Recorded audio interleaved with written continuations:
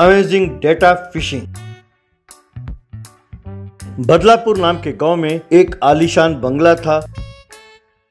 उस बंगले के अंदर एक दीवार पर एक व्यक्ति के बचपन से लेकर बड़ा होने तक अलग अलग मछलियों के साथ फ़ोटो लगे हुए थे और साथ ही साथ वहाँ पर कई किस्म के मछलियों के जाल और भी कई औज़ार लटके हुए थे। एक दिन उस बंगला के एक हॉल में दो व्यक्ति बैठे थे। तभी एक व्यक्ति सूट बूट पहनकर वहाँ अंदर आया। उसे देखकर लोकेश नाम का व्यक्ति नमस्ते सर। साथ ही बैठा रामनाथ नाम का व्यक्ति। अरे ये साहब नहीं है ये उनके पर्सनल सेक्रेटरी है मुखर्जी। अगर सेक्रेटरी ने इतने शानदार कपड़े पहने हैं तो वो कितने शानदार होंगे। तभी गोपीचंद वहाँ दीवार पर टंगे हुए मछली के जाल और कांटे को प्रणाम करके वहाँ आया। उसे देखकर रामनाथ नमस्ते सर। ये कौन है? अरे यही तो है गोपीचंद जी। पर इन्होंने तो धोती पहना हुआ है। क्यों? धोती पहन नहीं सकते क्या? भाई गांधी जी ने तो धोती पहना था और उन्होंने अपने देश को आज़ादी दिलाई। शहर में एक नया बिज़नेस स्कूल खोल रहे हैं। उसके इनोग्रेशन के लिए आपको आमंत्रित करने के लिए एमपी साहब ने भेजा था। कहकर कार्ड देकर चला गया। गोपीचंद की एक बेटी थी रम्या। गोपीचंद अपनी बेटी से बहुत प्यार करता था। वो अपनी बेटी की हर फरमाइश पूरी करता था। गोपीचंद अपने भांजों में से किसी एक से रम्या की शादी करना चाहता था। उसका बड़ा भांजा था रमेश और छोटा भांजा सुरेश। सुरेश बहुत आलसी था। उसे ये विश्वास था कि वो बहुत किस्मत वाला है, उसका राजयोग है और बहुत जल्द करोड़पति बन जाएगा। एक दिन एक ज्योतिषी ने कहा कि तुम बहुत जल्द करोड़पति बन जाओगे। तब से उसने कोई भी काम करना छोड़ दिया।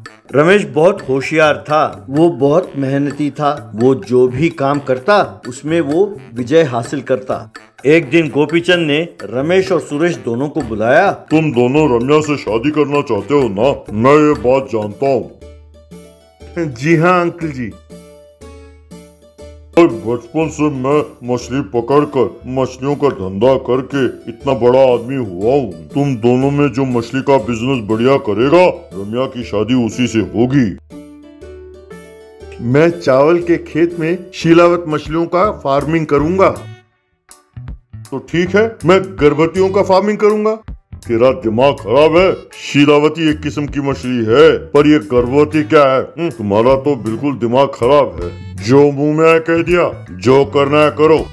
तब सेक्रेटरी मुस्कुराने लगा। यू रमेश और सुरेश वहाँ से चले गए। अगले दिन से रमेश अपने चावल के खेत पर मछली को पालने लगा। उसने खेत के चारों ओर एक बहुत बड़ा तालाब सा खोदा और उसमें मछलियों को छोड़ा। वहाँ सुरेश हाथ में एक टोकरी लिए गाँव के तालाब के पास से गुजरता हुआ।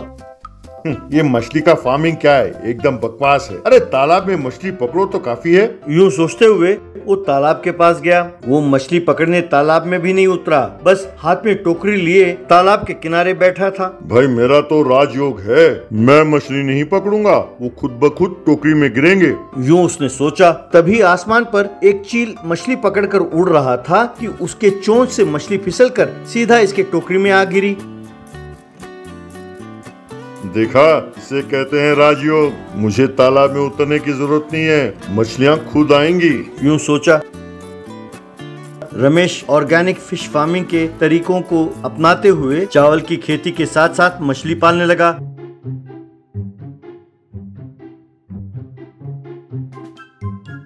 उसने कोई केमिकल फर्टिलाइज़र इस्तेमाल नहीं किया। खेत में पल रहे मछलियाँ, वहाँ के मच्छर फंगस और जो भी कीड़े मकोड़े थे, सब खा जाते। उस बार बहुत अच्छी फ़सल उगी।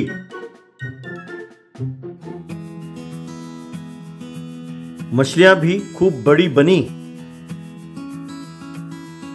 वहाँ सुरेश तालाब के किनारे टोकरी पकड़े बैठा था। वो अपने राजयोग के बारे में सोचते हुए अंदर ही अंदर बहुत खुश हो रहा था। एक दिन रमेश ने कांटा फेंक कर अपने खेत में टेटा फ़िश पकड़ा।